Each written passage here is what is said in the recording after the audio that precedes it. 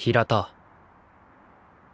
次から次にどうして僕に構うのかな？みーちゃんみたいに突き飛ばして逃げるか？今日はもう疲れたから逃げる気力も残ってないんだ。それで話は何かな？平田の話を聞かせてほしい。いつまでも山内の退学を引きずってクラスに協力しようともしない知りたいのはそんな平田の価値観を形成した出来事の話だ。それを聞いて何になるのかな？僕が話すとでも？話すさ。君の目には怖いくらいに深い闇が広がっている。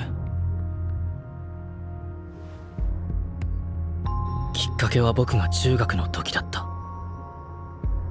仲のいい友達がいじめの対象になってしまってね。僕はその友達を助けたかった。けど自分がいじめのターゲットになることが怖くて傍観者になってしまった。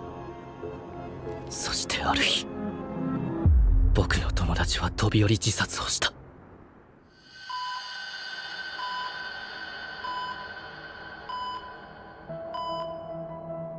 命だけは取り留めたけど彼は今も回復することなく眠り続けている。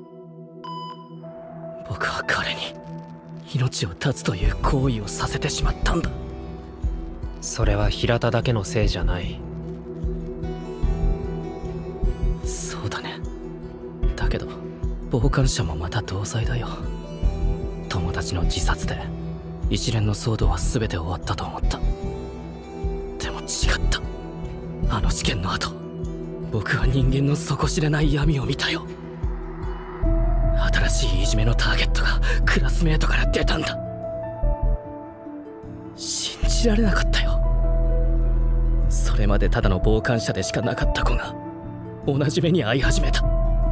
しかもそれまでいじめに加担していなかったクラスメートたちまでがいじめを始めたんだ。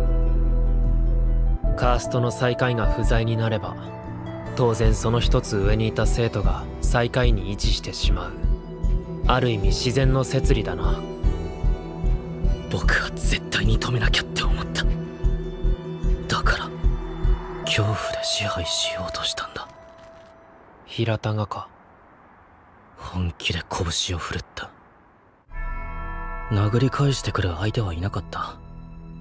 僕だけが上に立ち残りの生徒全員を最下位にする。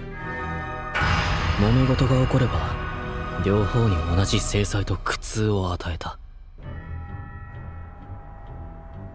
結果的に一つの学年を壊してしまったのかな。生徒たちから笑顔が消えてただただ無機質なロボットのような生活を送った。だからまたクラスで山内一人がターゲットにされたのが許せなかったんだな。結果山内くんを守ることができなかった。やっぱり僕はクラスをまとめちゃいけない人間だったんだ。誰かを守るためまた恐怖で支配しようとした。